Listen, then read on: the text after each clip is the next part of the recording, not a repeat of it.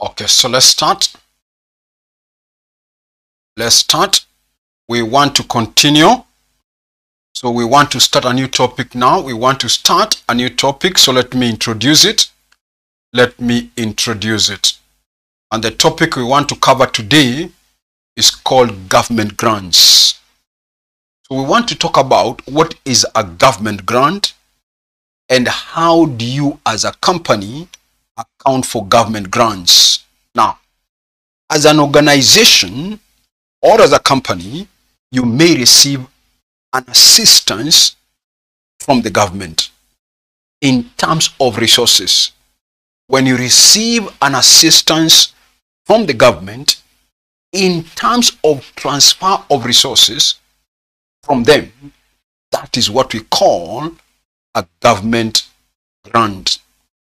So we normally define a government grant as a transfer of resources.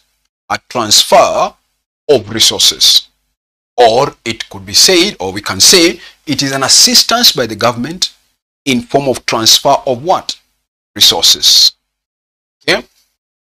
So we also want to talk about what are the various types of grants that you can have as an organization or what kind of grants can the government gives.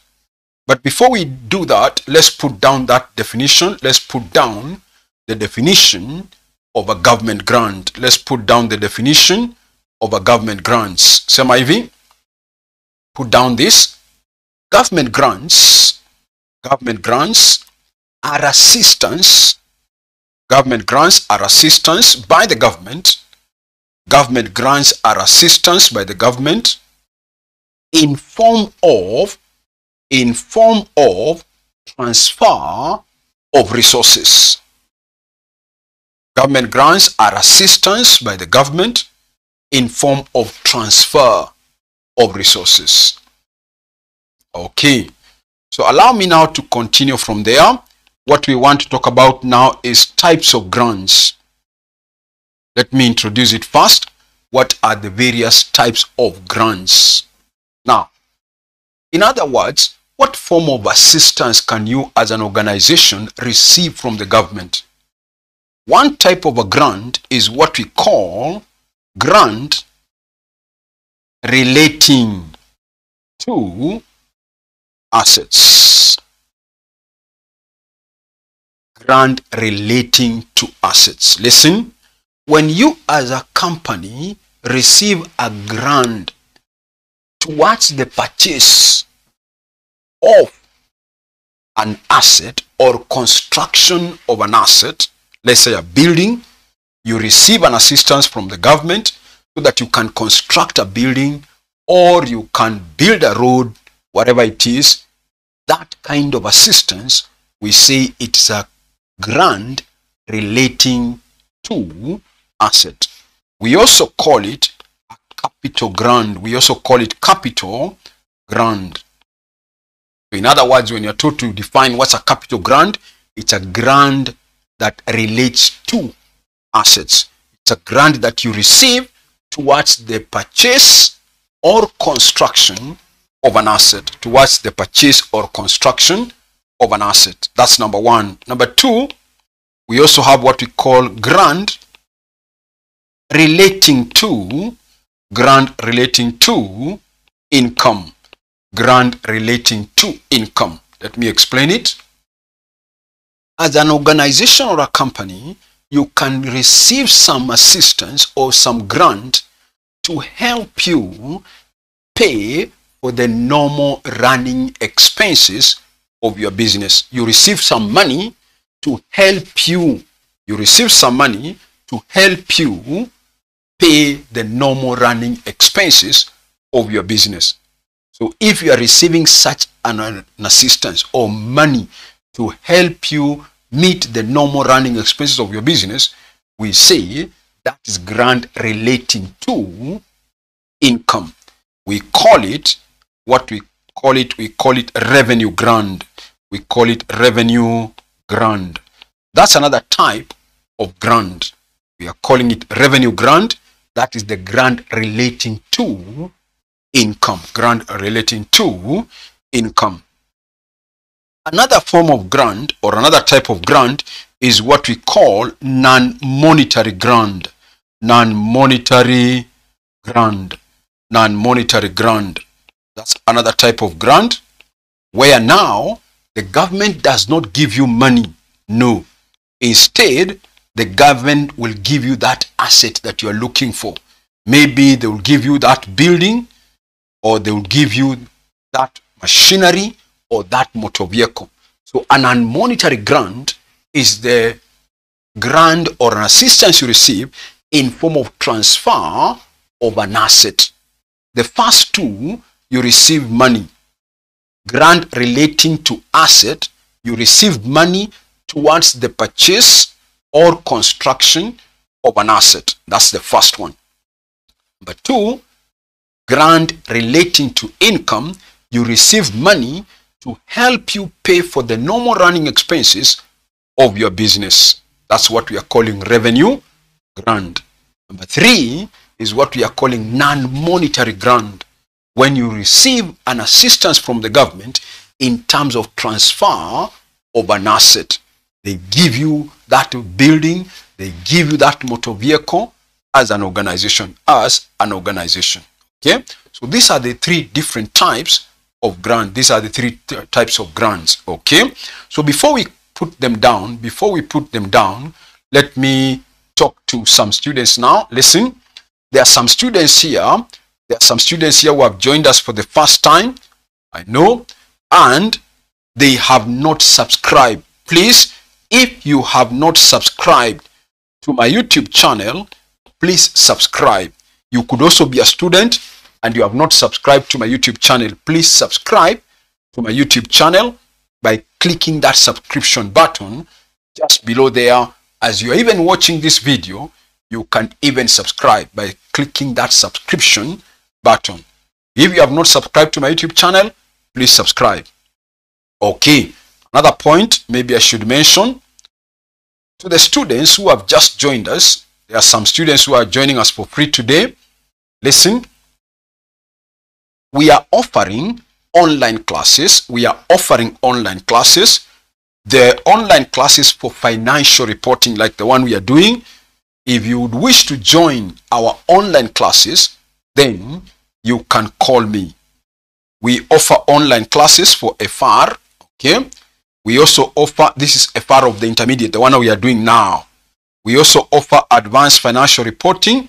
If you have friends who are doing advanced financial reporting for the advanced level, and we also offer financial accounting for the foundation level. So if you have friends who are doing the other two, which we are not covering today, we are covering financial reporting. So if you have friends who are doing advanced financial reporting or they are doing financial accounting of the foundation level or ATD, you can let them know that we are offering online classes. Okay. Now, if you are not able to join the live classes for any of these three, if you are not able to join live classes for any of these three, then you can buy what we call pre-recorded videos. You can buy what we call pre-recorded videos where you get all the videos for the syllabus at once. You get all the videos for the syllabus at once and you watch them at your own free time and you watch them at your own free time. That's another way that you can deal with it. So any of you who are new now or for any of your friends, you can let them call me on this number 0722 65 8875. 0722 658875. So I think I'm through with what I wanted to talk to the new students and to the students who have not subscribed and you are my student. Maybe you have joined, but you have not subscribed to my YouTube channel. Please subscribe to my YouTube channel. Okay? Click that subscription button. Then I've said, today we are doing financial reporting. So if you have not joined officially for our online class, please join. You can call me on that number. That's what we have given. Then I've said, for some of you, you have friends who are doing advanced financial reporting or financial accounting. For more details about the online courses, you can call or even text call or even text me on this number. Then I've said we have what we call pre-recorded videos for any of them. If you're not able to join live class, then you can still buy what we call pre-recorded videos. Okay, so let me continue now from where I left. Let me continue now from where I left. I was talking about the three types of government grants, the three types of government grants. Let's put them down now. Let's put them down. Then we talk about how to account for them. So have another subheading, have another subheading, types of government, uh, types of grants, types of grants, types of grants, types of grants. Number one, number one, grant relating to assets. Number one, grant relating to assets. Grant relating to assets. In bracket, call it capital grant. Grant relating to assets. In bracket, capital grant. Capital grant. Then you say this. Below that, these are grants. These are grants These are grants. These are grants that relate to these are grants that relate to purchase. Maybe you can say towards. These are grants that relate to the towards the purchase. These are grants, or you can say grants received. Put it that way. These are grants received towards. These are grants received towards the purchase of an asset towards the purchase of an asset or or construction or construction of a long-term asset or construction of a long-term asset or construction of a long-term asset. These are grants received towards the purchase of an asset or to the construction of a long-term asset. Number two, number two, grants relating to income. Grant relating to income. Grant relating to income. When you see this, in bracket in bracket revenue grant revenue grant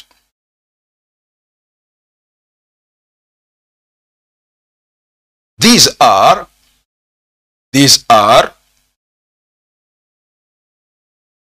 the grants that are received these are the grants that are received towards. These are the grants that are received towards the normal running, towards the payment, put it that way, towards the payment, towards the payment, towards the payment of the normal running expenses of the business, towards the normal running expenses of the business, of the business.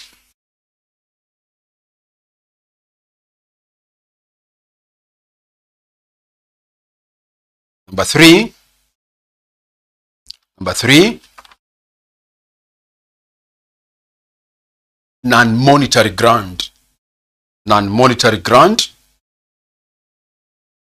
non-monetary grant, non-monetary grant, e.g., e.g., transfer of land, e.g., transfer of land and other resources. Transfer of land and other resources. E.g. transfer of land and other resources. E.g. transfer of land and other resources. Okay, so let me continue from there now. Let me continue from there now. So how do we account for these grants. That's what I want to talk about now. So let me start with the first one. What we are calling capital grant. Let me start with the first one. What we are calling capital grant. Now listen. How do you account for money that you are receiving towards the construction of an asset or towards the purchase of an asset? Listen. Let me assume first that you as a company, you bought a motor vehicle or a machine, let's call it a machinery, for maybe 50 million. You bought a machine for 50 million. But towards the purchase of this machine, you received a grant of 10 million you received a grant of 10 million. That's what we are calling a capital grant. So how do you account for this 10 million being a capital grant, a grant relating to assets? Now, there are two methods. There are two methods of accounting for this grant. Number one, one method of accounting for this grant, listen, is to offset against the 50 million that you have paid, you offset the 10 million. For example, let me put it in terms of accounting. You bought that machine for 50 million, you debited machinery and you credited cash by 50 million. That's what you did as a company. Then you received this grant of 10 million. You can decide to debit cash and credit machinery by that 10 million. Then from there, you now remain with the balance of the machinery worth 40 million. That 40 million is what you are now going to be showing in your books as an asset. And you depreciate it at 40, not 50. Are you there now? So we are saying one method of accounting for the 10 million is to offset the 10 million against the cost of the asset so as to determine the carrying amount of the asset that we shall be depreciating it from now onwards. From now onwards. Are you there now? Good. So that's one method.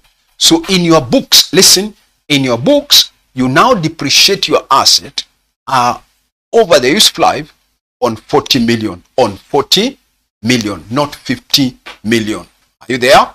Good.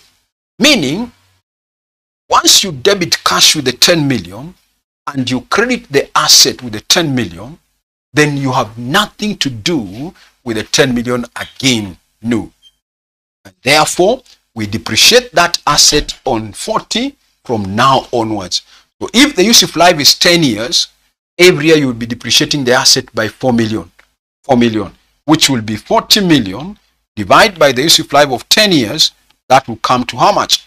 4 million. That will come to 4 million. That's one method that you can use to account for the grant. That's one method we can use to account for the grant. We are calling it where you offset, where you offset the grant against the original cost of the asset, against the original cost of the asset. Okay? Good. So that's one method. The second method, let me explain it by doing the illustration again. You bought this machine for 10 million or uh, 50 million. So you debited machinery by 50 million and you credited cash. Now listen, then you received a 10 million grant towards the purchase of this machinery.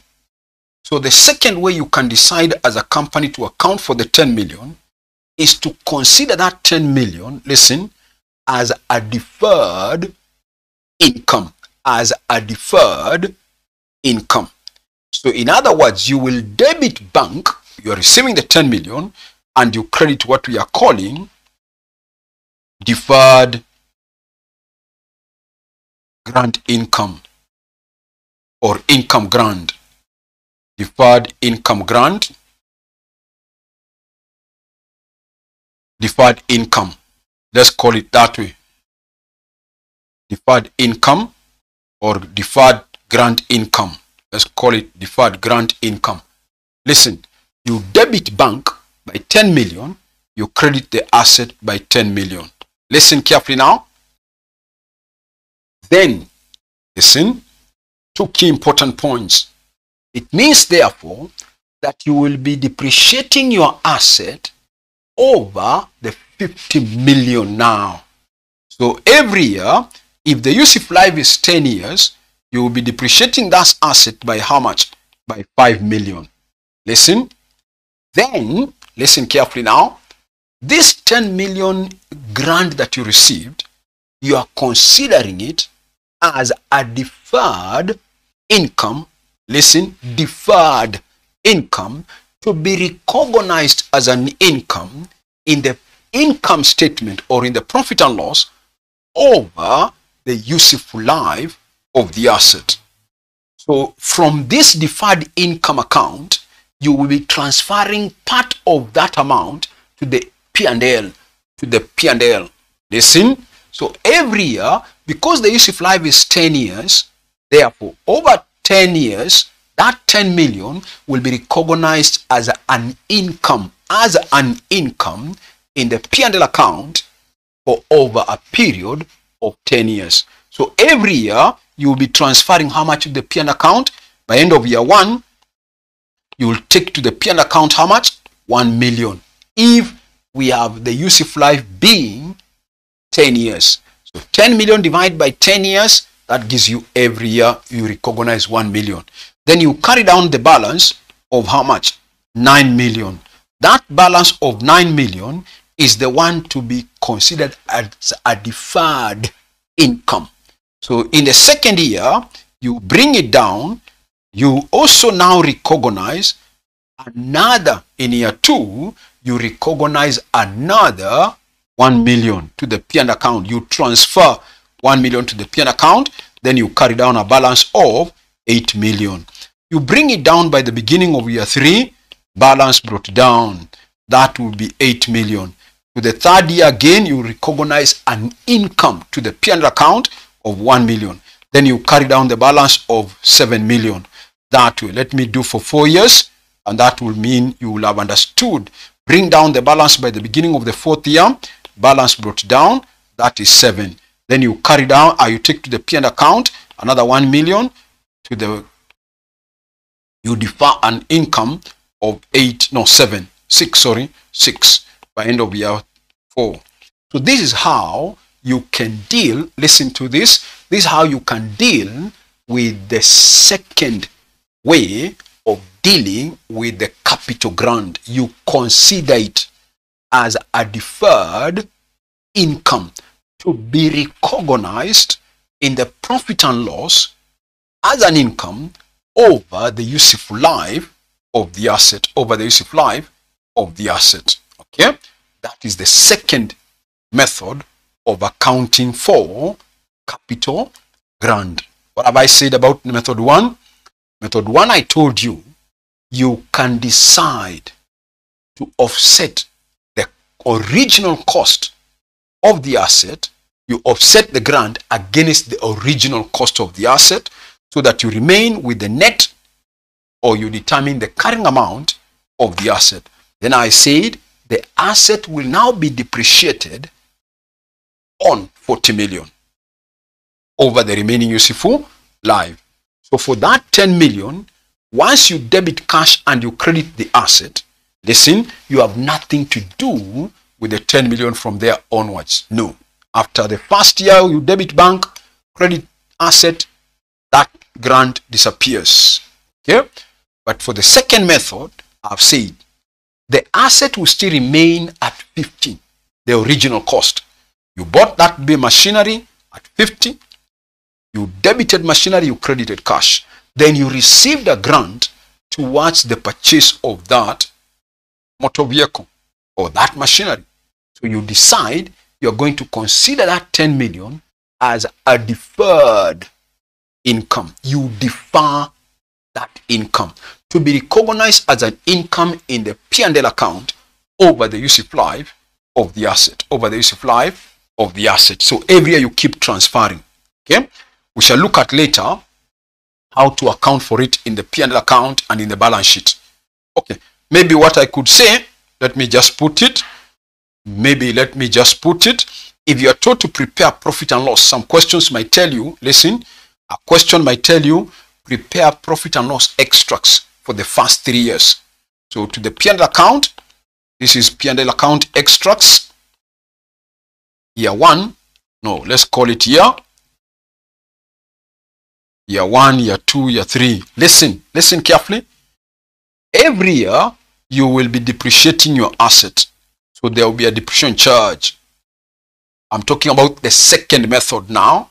Then every year, there will be that deferred income which you recognized as an income that year, which you will recognize as an income that year. So every year, my machine had a cost of 50 million. The useful life was 10 years. So every year, I'll be depreciating it by 5 million. That's what I'll be depreciating. We are assuming you're using straight line method. Then every year, I am recognizing how much in the income statement. Every year, from the deferred income account, I'm transferring 1 million, 1 million, 1 million. So I take to the P&L account every year how much? An income of 1 million, 1 million. Are you there now? That's how the income statement or the P&L account will be affected by the second method. Look at the balance sheet now. If you are to prepare balance sheet extracts, if you are to prepare balance sheet extracts, I'm talking about the second method, year one, year two, year three. So you will have among your non-current assets, among the fixed assets, you will have machinery at cost. Machinery at cost, which is how much? 50. You less accumulated depreciation of how much? 5. That will give you a book value of how much? 45. Second year, cost will be 50. Accumulated depreciation of 10. That gives you 40. Third year, that will be 50 accumulated depreciation of 15 that gives you 35 good. Now that is as far as asset side of the balance sheet is concerned. Listen remember listen carefully. You have what we are calling a deferred income. You received listen carefully now you received 10 million to be recognized as an income in the next 10 years to be recognized as an income in the next 10 years. Listen, so we can say this is an income that has been received in advance. And any income you know from your accounting, any income received in advance is obviously considered as a liability. Any income received in advance is considered as a liability. Good. But I want you to watch. So among the non-current liabilities, non-current liabilities, among your non-current liabilities long-term, there we will also have deferred grant income. Listen carefully.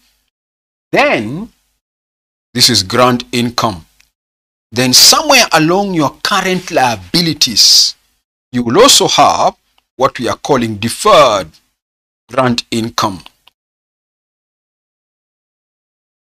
Let's go back to the table, these accounts. We argue. Listen carefully. By end of year one, from my table here, from my account, I was carrying down how much? 9 million. Listen carefully out of that 9 million, which is to be recognized as an income in the next nine years. Listen, out of that 9 million, there is a 1 million which will be recognized as an income in the next one year. Hope you are getting. out of this 9 million, there is this 1 million which will be recognized as an income in the next one year. So it means therefore, out of the 9 million by end of year one, there is another balance of 8 million to be recognized as an income from now within a period of more than a year. We are at the end of year one. We have received an income in advance of 9 million. But out of that 9 million, in the next one year, we will have recovered 1 million from it. That means we would have realized 1 million from it. So there's another 8 million out of 9, which will take me more than one year to recognize it as an income. You see? So it means, therefore, in my balance sheet of year one, how much will be considered as a long-term liability? It is out of the 9, 8 million will be now be considered as a long-term liability. That leaves me with a balance of 1 million to be considered as a current liability. You go back again and check for the second year. Second year, we are carrying down a balance of how much now? 8.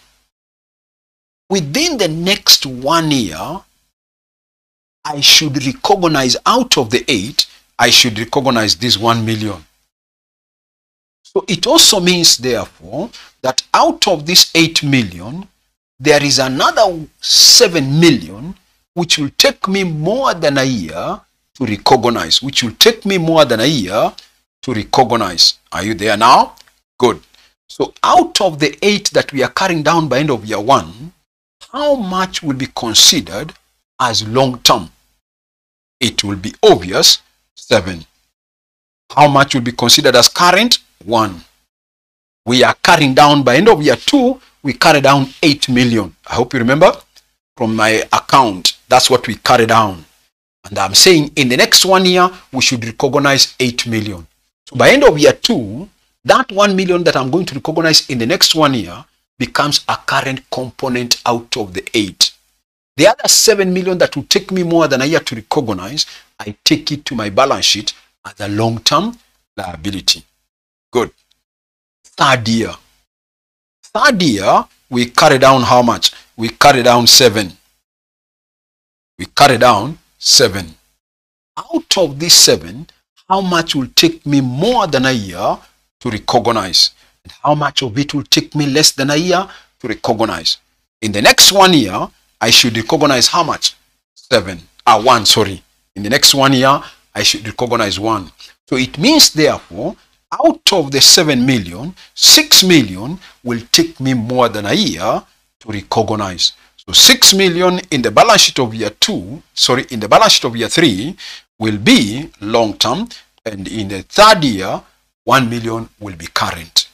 I hope you have noticed something. Listen, that when I was doing the balance sheet of year 1, whatever was the carry down by end of year 2, look at the account, whatever I was carried down by end of year 2, when I was doing year 1 here, when I was doing year 1 year, whatever I was carrying down by end of year 2, which is 8, that became the liability long term year 1. Okay? Then when I was doing my balance sheet of year 2, whatever I was carrying down as a liability by end of year 3, that became long term by end of year 2. Hope you are following. Okay. Third year, when I was doing my balance sheet of year 3, I saw I was carrying down 7 million. So I had to ask myself how much is long term.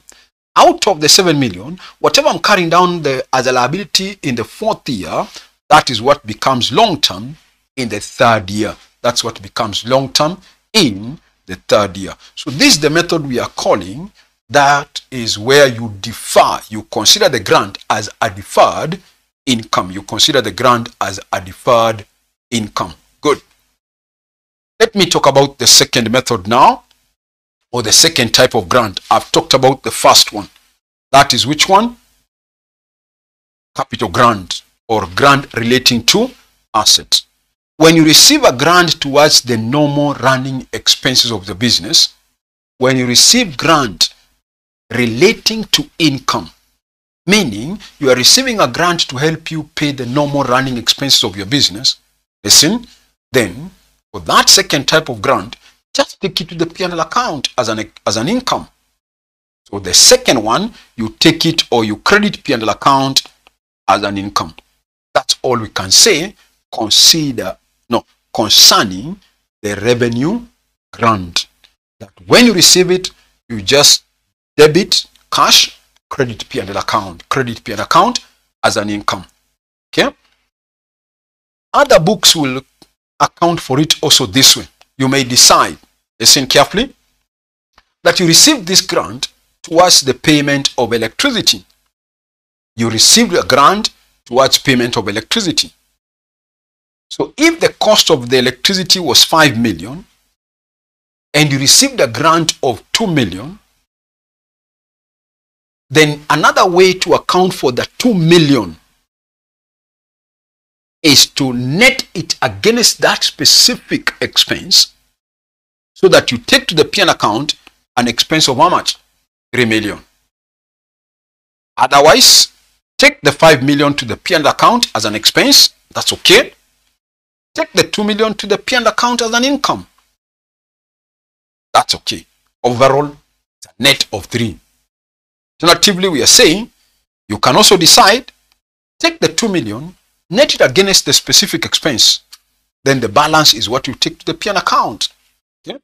But it's easier to say if you are receiving grant relating to income, just consider it as an income in the P&L. Okay, that's better. Consider it as an income in the P&L account and you credit P, P&L. Good. That is the only treatment for revenue grant. Number three, grant which we call non-monetary grant.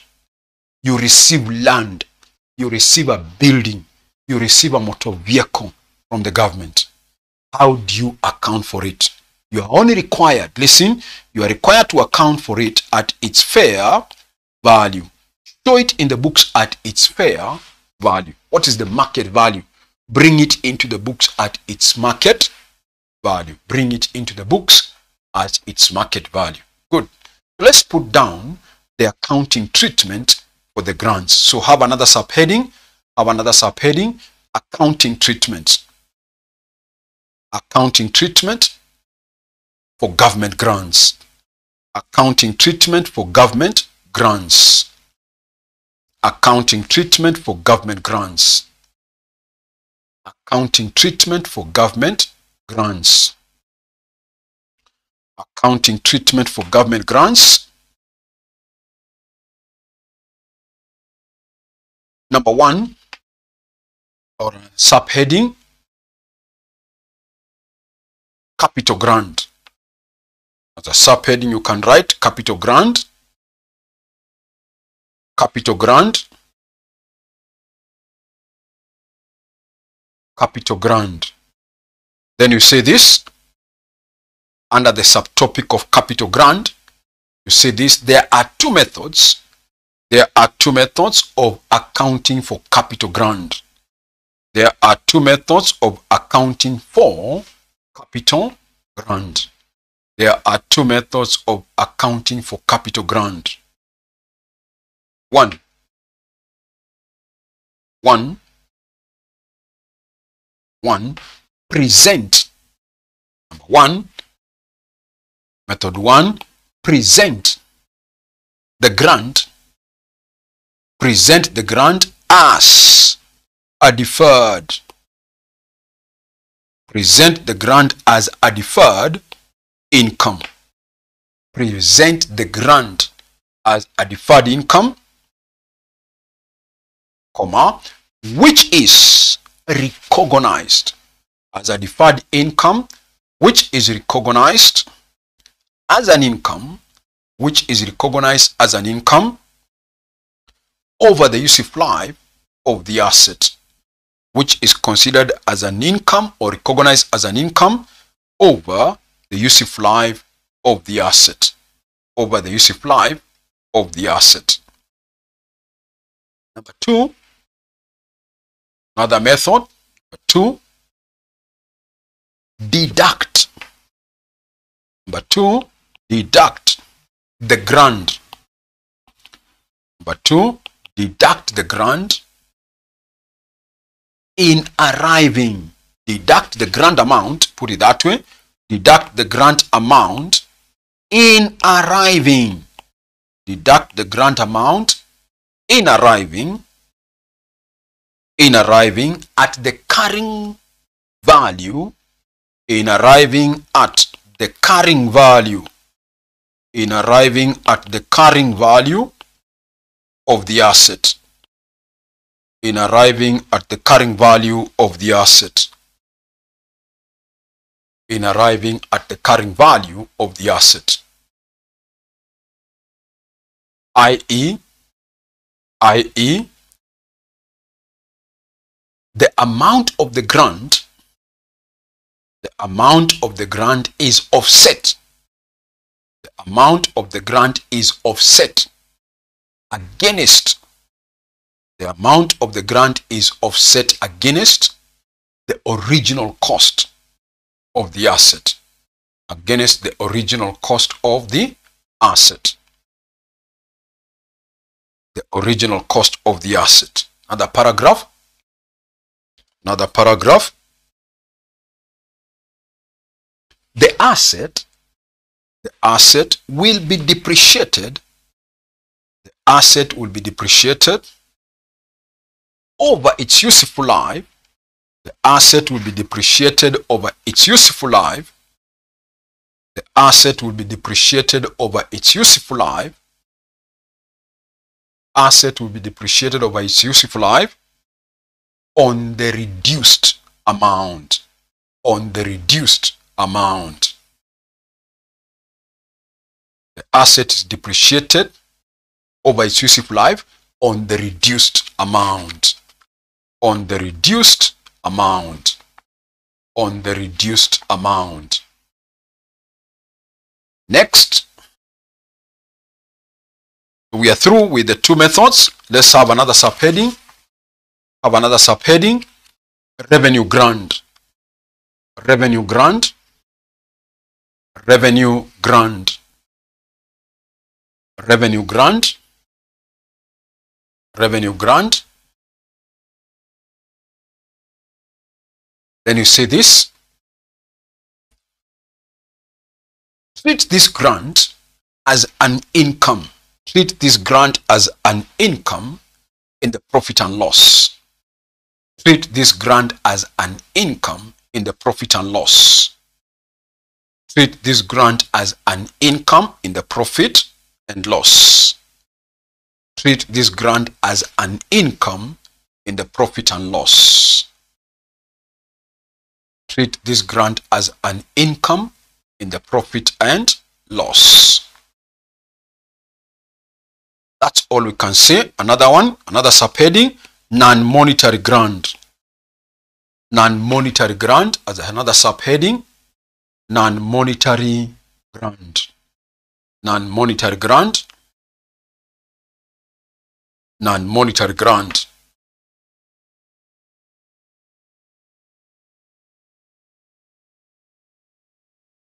non-monetary grant. This should be valued. This should be valued at its fair value. This should be valued at its fair value. This should be valued at its fair value.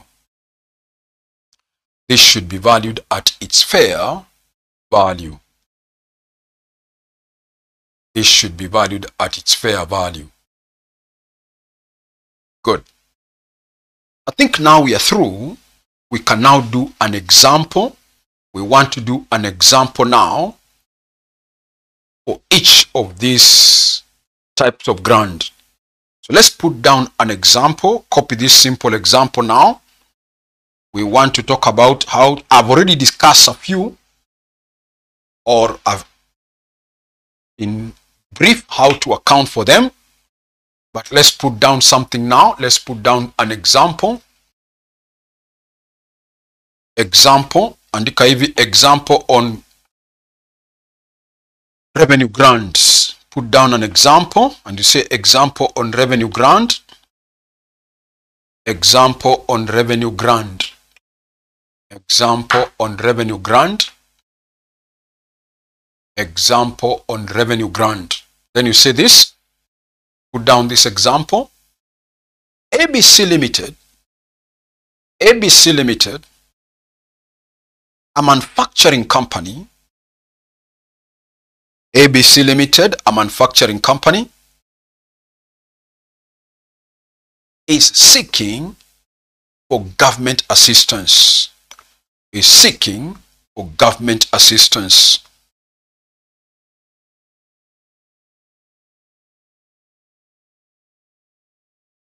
Is seeking for government assistance. Stop.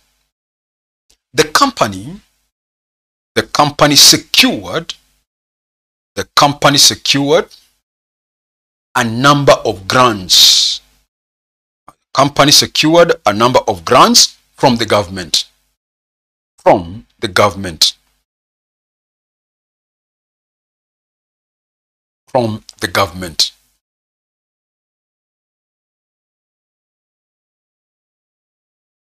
The following transactions took place. The following transactions took place in the current year. Following transactions took place in the current year. The following transactions took place in the current year. Number one, number one, number one, ABC Limited, ABC Limited has been awarded, has been awarded a grant, has been awarded a grant of shillings 90 million of shillings 90 million to be received to be received over three years to be received over three years to be received over three years in respect of in respect of in respect of providing employment in respect of providing employment in respect of providing employment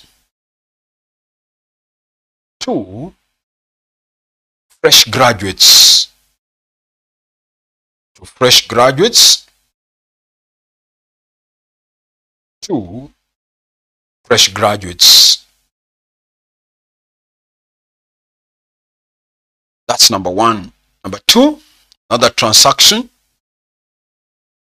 Two, ABC Limited, ABC Limited received shillings 5 million, received shillings 5 million grant, received shillings 5 million grant for initial training for initial training of its employees. For initial training of its employees. Initial training of each employees. Yeah? Required. Hapo chini andika required. Required. Show how show how ABC Limited would account, show how ABC Limited would account for the above transactions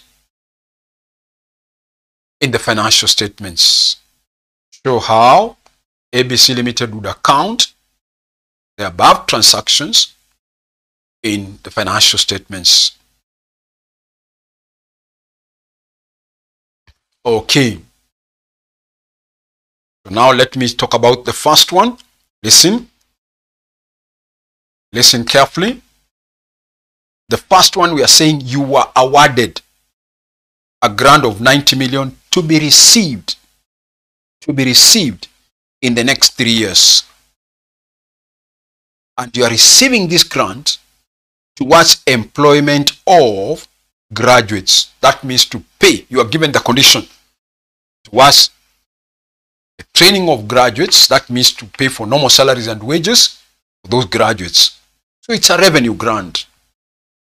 But you are given or you will be awarded, you have been awarded 90 million to be received over the next three years. So it means overall, listen, it is obvious to assume that you are going to receive 30 million every year, 30 million every year. You take it on a straight line basis. So because we are doing year one, how much will be the grant I'm going to receive towards the employment of these graduates? It's obvious 30 million. It's obvious 30 million. So we are saying for number A, we are putting down the answer now. We are putting down the answer semi-V. The amount to be recognized, the amount to be recognized as an income, the amount to be recognized as an income each year, the amount to be recognized as an income each year would be 90 million divided by 3 years. So that will be 30 million. So that's what you're going to receive every year. You are awarded a grant of 90 million to be received over the next three years.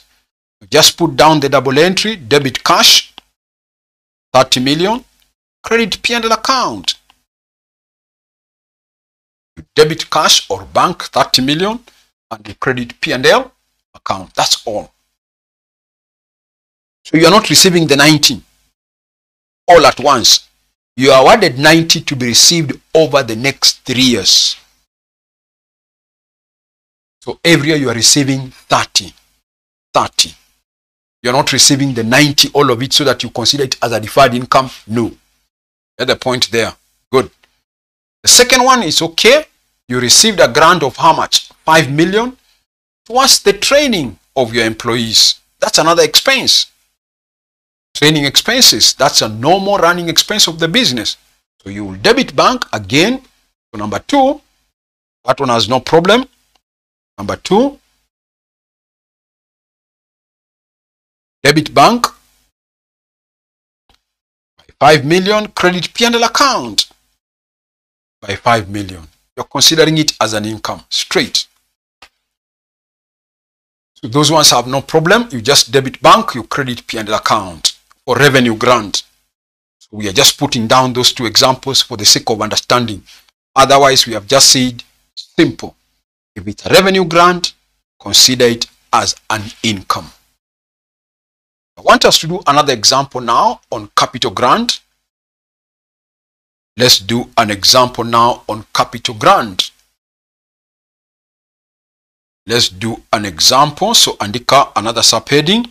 Example on capital grant.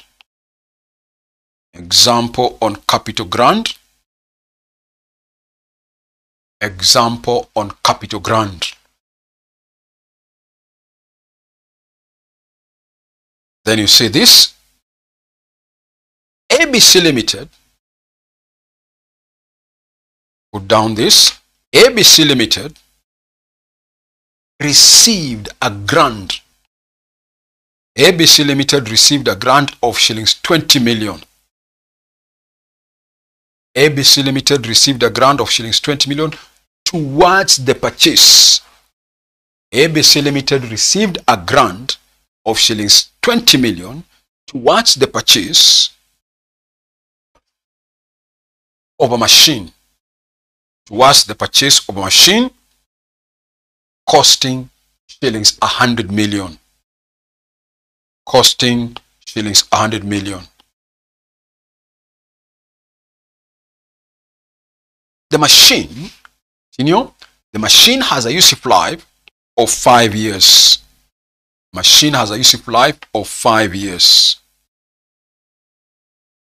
With machine has a useful life of five years with a residual value. With a residual value of shillings 10 million with a residual value of shillings 10 million with a residual value of shillings 10 million. Required. Required. Required. Show the profit and loss. Show the profit and loss. And balance sheet extracts. Show the profit and loss and balance sheet extracts for the first three years for the first three years, show the profit and loss and balance sheet extracts the first three years using using the two approaches using the two approaches of accounting for using the two approaches of accounting for the grant using the two approaches for accounting for the grant okay, using the two approaches for accounting for the grant. Okay, so let's use method one. So andika method one, where we have said grant considered as a deferred income grant considered as a deferred income. That is method one. Grant considered as a deferred income. You received a grant of 20 million. It has a useful life of five years. Let's prepare our deferred income account so that we get the charges to go to the P&L account and in the balance sheet. So open an account called deferred income. We are doing for the first three years. Listen, we are doing for the first three years. So you need a longer account. So this is deferred grant income. Deferred grant income. Deferred grant income. So you come and see year one, you received 20 million. So you debit bank by 20 million, you credit deferred income grant by cash 20 million. Then the useful life being five years, I told you, you now transfer from the P&L account, no, from this account to the P&L account, how much every year? 20 million divided by 5, that is 4 million. You come and see here to your P&L account by end of year one. The P&L account, that will be 4 million. That will be 4 million. You think you'll forget how we are getting that 4 million? We are getting it by taking 20M divided by 5 years. That's how we are getting that 4 million to be recognized as an income every year. Good. Then we carry down a balance of how much? Balance carry down. We carry down 16. We bring it down by the beginning of year 2. Balance brought down. That is 16. Then we bring it, say again, second year, we transfer how much? The P&L account in year 2, we transfer another 4. We have discussed all this. We carry down a balance of how much now? We carry down a balance of 12. We bring it down by the beginning of year 3. Balance brought down. That is 12. Then I say to the P&L account again, another 4. Then I carry down a balance of how much? 8. That is all we are told to prepare for the three years. Finish. I want to do P&L extracts and balance sheet extracts for the three years we have accounted for the grant as a deferred income, as a deferred income. Okay? So finish copying. We want to do the balance sheet and P&L extracts now.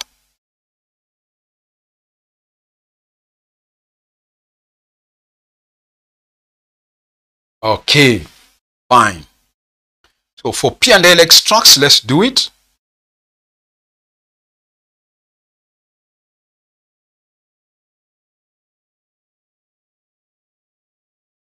Uh, we come and see here profit and loss extracts.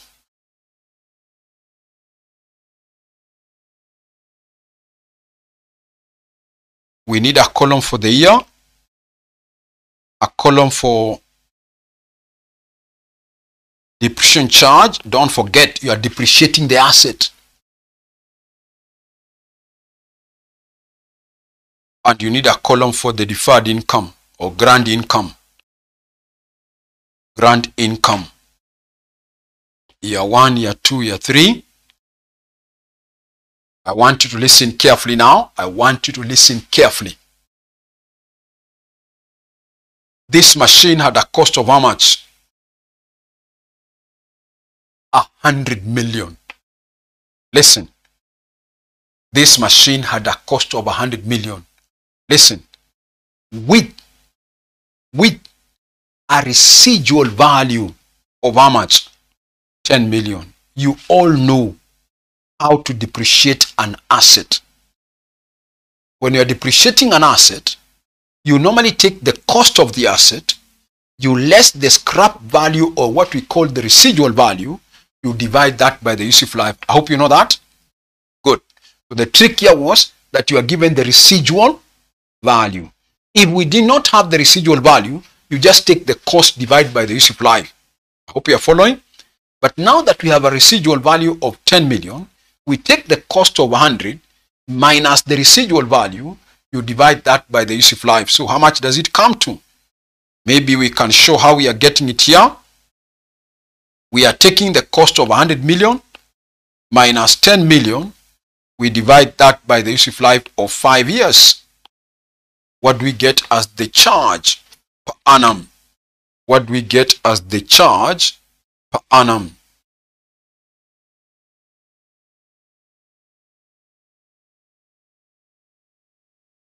We are taking a hundred.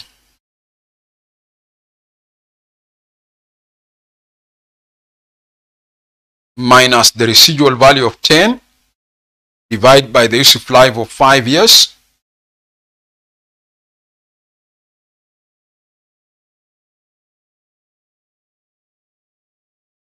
That gives me 18 million every year. 18 million,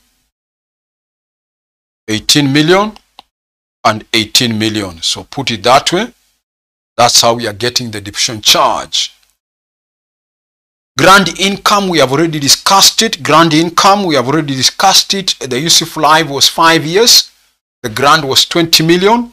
Recognized over the same useful life of five years. So every year we recognize 4 million to the P&L account. Good. So having said that, now you come and recognize 4 million, 4 million every year.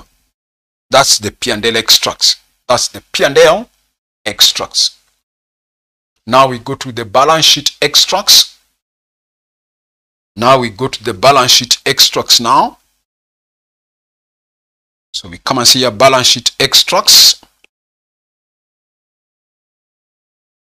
or what you can call statement of financial position extracts. Need a column for year one, year two, year three. I told you among the non-current assets, among the non-current assets, you will have an asset called machinery at cost. The cost was a hundred million. You less accumulated depreciation. First year we charge 18. So that leaves me with a book value of something like 82. If I'm right, good. Second year 100, accumulated depreciation of 36. That leaves me with about 64. I hope I'm right. Yes. Third year cost is 100. Accumulated depreciation 18 times 3 that's about 54, leaving me with a book value of 46. Good. That is as far as the asset side of the balance sheet is concerned. We come to the liability side, we come and see here non-current liabilities, deferred, grant, income. We have already discussed this. Among the current liabilities, then you have deferred, grant, income. Okay? We have already discussed this. I told you what do you consider as long term by end of year one. It is what you are carrying down by end of year two. That's what we are saying will become. Then the next amount you are going to recognize as an income in the next one year, that becomes the current now. We can even go back to the table, go back to the account, sorry. We carry down how much by end of year one. I carry down 16 by end of year one here. Out of that 16, I'm going to recognize 4 million in the next one year. So out of the 16, I'm remaining with 12 to be recognized as a liability or which will be recognized as an income, sorry, in a period of more than one year from now. So it's like I've received an income in advance for a period of more than a year. That's long-term liability. So out of 16 that we are carrying down, 12 will be considered as a current, as long-term, sorry, will be considered as long-term. For the next one year, I'm going to recognize 4 million. That becomes current. So in the next one year, I should recognize 4 million, the P&L account. Out of 16, 12 will take me more than a year to recognize. 4 will take me less than a year to recognize. I go back, I see what I'm carrying down by end of year 2. By end of year 2, we were carrying down 12. Again, out of that 12, how much will take me more than a year to recognize? Obvious, I told you it's what you are carrying down by end of year three. So that automatically becomes eight. So in the second year, your long term is eight out of 12. Then out of 12, 4 million will take you less than a year to recognize. 4 million will take you less than a year to recognize. 4 million becomes current. Finally, in the third year, I know I carry down 8 million out of the 8 million, 4 million will be recognized within the next one year. The other 4 million will take me more than a year to recognize. Okay, so that means 4 million will take me two more years to go. I am at the end of the third year. Okay, that will take me 4 million. Another 4 million will be current. Are you there now? Good. So we are through with the balance sheet extracts Well, walikuwa wamesema for three years. So by end of the third year I'm carrying down for 8 million. Out of that 8 million, 4 million must be recognized within the next one year. It means the other 4 million will take me more than a year to recognize. Good. So we are through with the first approach. We are accounting for this transaction, which is a capital and we are accounting for it using the two approaches. Finish. We want to go to the second approach now, where we want to account for the grant as what? As a net set off. Good. Against the cost of the asset. Okay? So, andika method two or approach number two this was method what? What were we calling it? Is it a method or approach? Method one. This was method one. So we can come and say method two. We can come and say a method two.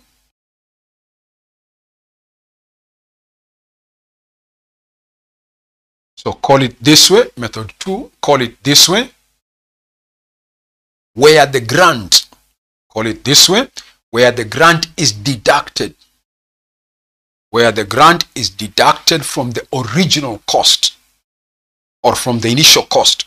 That way where the grant is deducted from the initial cost of the asset. Where the grant is deducted from the initial cost of the asset in determining in determining the carrying amount of the asset in determining the carrying amount of the asset. In determining the carrying amount of the asset. So let's determine the carrying amount. Carrying amount now. The original cost was 100 million.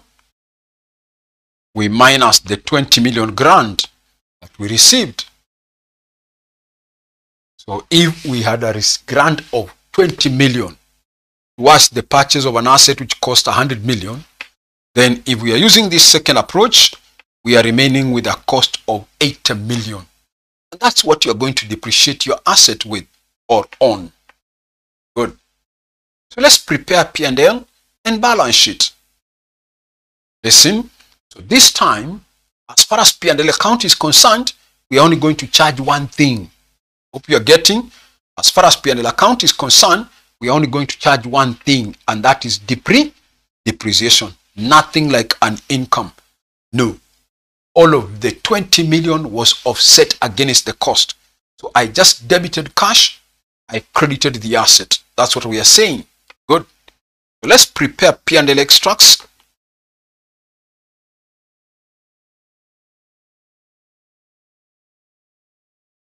So we have a column for the year and a column for depreciation charge. Year 1, year 2, year 3. Get the point again. Get the point again. Get the point again here. Listen. Listen. Yes, we are supposed to depreciate it on 80.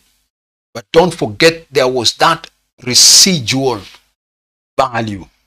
So once you have a residual value, you normally have to determine what we call the depreciable amount. The depreciable amount. So this means, let me just show somewhere here, it will be 80 minus the residual value was 10. We divide that by the useful life of how many years? 5. You remain with a net cost of 80. Are you following? Good you minus the residual value of 10, get the amount we call the depreciable amount, then you divide that by the useful life. So what does it come to? So in this second method, the depreciable amount is now 70. Divide by 5. That comes to 14. So every year, you depreciate your asset by 14 by 14 million every year. Good. That's all. Nothing goes to the P&L account as an income. No. So we do the balance sheet extracts now.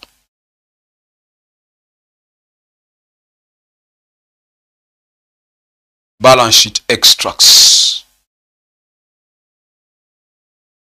Year 1 year 2 year 3 we start with non-current assets. Non-current assets. We come and see here machinery at cost.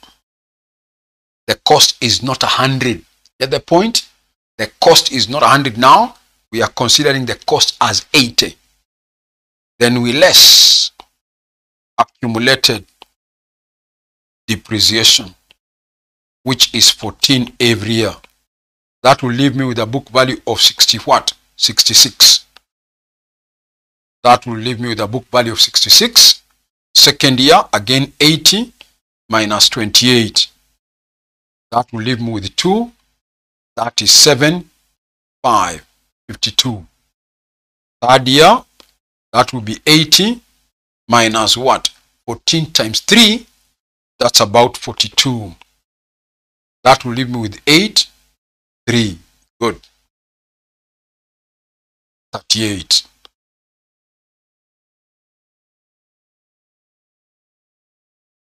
Okay. Listen. This time, there is nothing like deferred income in the balance sheet. Get the point? We have netted the 20 offset it against the cost. So there is nothing to go to the balance sheet as a deferred income, whether long-term or current. I hope you're getting. So in this second approach, only the asset will appear in the balance sheet. Nothing like as a deferred income, no.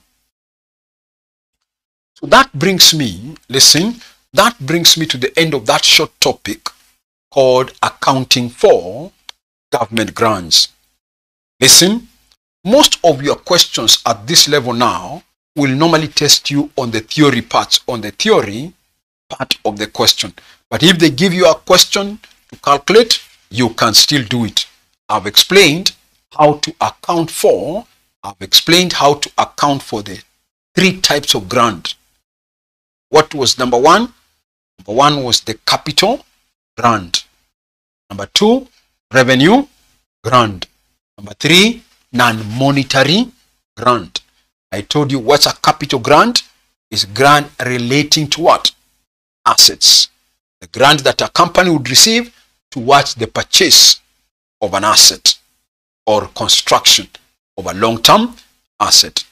Number two, what's a revenue grant?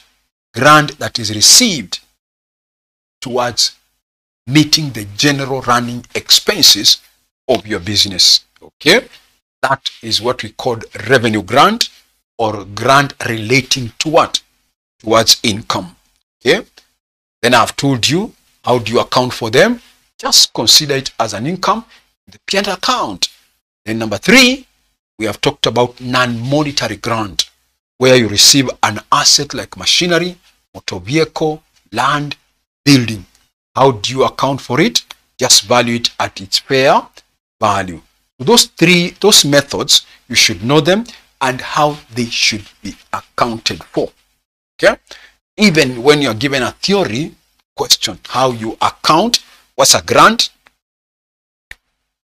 We have received, we have said a grant is a transfer.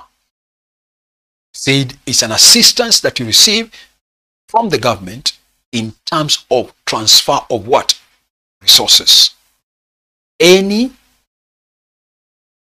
assistance you are receiving from the government in form of transfer of resources, that's what we are calling a government grant. Then we have talked about the three types of grant. And now we are through with how to account for each grant. So that's all about the topic. So for today, we can stop there. We pick it up from there next time. We pick it up from there next time when we shall start a new topic. Otherwise, listen, for the students who are new, I've told you, please subscribe. Even if you are not a new student and you have not subscribed, please subscribe to my YouTube channel. This will help you to get notified whenever we post videos to the YouTube channel for free. Okay, good. The other thing I've said, for some of you who have not joined classes, either for financial reporting like the one we are doing now, or advanced financial reporting for your friends who you can tell, or for financial accounting, I told you, you can. If you want to join the online classes, you can call me and call me on 0722 65 8875 0722 658875. I also told you if you can't fit in an online class, you can also buy what we call pre-recorded videos where you get the videos for the whole syllabus all at once and then you can watch them at your own free time. Somebody saying, pardon, from non-current liability balance sheet. What do you mean from non-current? I said, I don't know whether you are referring to method 1 or method 2. Edward, what are you asking? Are you referring to method 1 or method 2? Method 2, I told you there is no liability. There is nothing you are going to account for as a liability. When you received the 20 million, you had to offset it against the cost of the building or the cost of the machinery. The original cost was 800 million. So using this method two, which I'm hoping you're talking about, I took the cost of 100 million here. I had to minus the grant. So you remained method one. Okay, method one. Haya. Method one, non-current. Here. You go back to the table, to the account here. You are asking for long term. Here, we are carrying down how much? 16 million by end of year one, which will be brought down by the beginning of year two. Then in the second year, you will recognize to the income statement another how much? Four. So I told you, if you received a grant of 20 million and you are going to account for it as an income over the next five years, so it means every year you must recognize an income of 4 million. 20 million divided by 5, that's 4 million. I hope that point is clear. So from year one, I recognize 4 million to the P&L account. 16 million is an income I'm receiving in advance. First, that's a one point. 16 million is an income I've received in advance. But out of that 16 million, there is another 4 million I'm going to recognize within the next one year as an income. Out of this 16, I hope David is following, Edward, sorry. Out of that 16, there is a 4 million which must be recognized every year, every year, every year. Are you there? So out of 16, there is a 4 million that will take me less than a year to recognize as an income. So it means therefore out of this 16, 4 million will take me less than a year. It leaves me automatically with a balance of how much? 12 to be recognized as an income in the next more than a year. It will take you more than a year to recognize the 12 million. Okay? That's what you did. When you came to your tomb, you carry down another how much? 12 million. Out of this 12 million, we have agreed every year you must recognize 4 million. So within the next one year, you must recognize how much? 4 million. It means what? Out of the 12, there is another 8 million, which will take you more than one year to recognize as an income. Then out of this 8 that I carry down by end of year 3, there is a 4 million that I must recognize within the next one year. 4 million. So it leaves me with another 4 million, which will take me more than a year to recognize as an income. When I'm doing my balance sheet of year one, I have told you the 12 million will go to the balance sheet as an uncurrent liability. 4 million will go to the balance sheet of year one as a current liability. Second year, out of the 12, 8 million will go to the balance sheet as an uncurrent, long term, and 4 million will go to the balance sheet as current. Out of the 8 million I carry down by end of year 3, 4 million, I look at it as long term, then 4 million, I look at it as current. That's what we did in the balance sheet. So how when I was doing balance sheet of year 1, we saw the total liability was 16 here was this 16 ndio hiyo.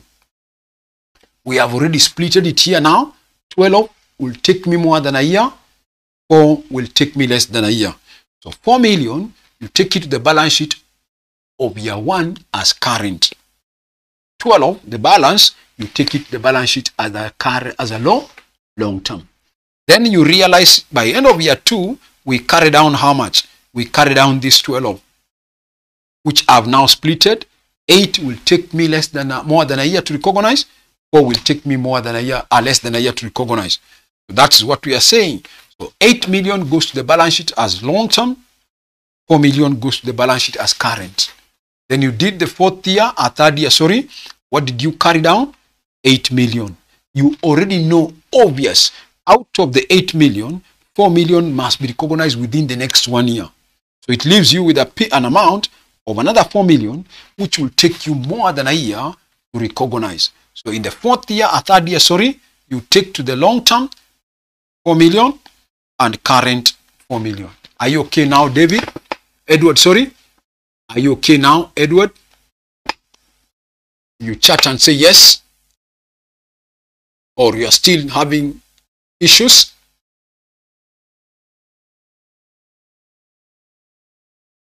I hope now you're okay, Edward.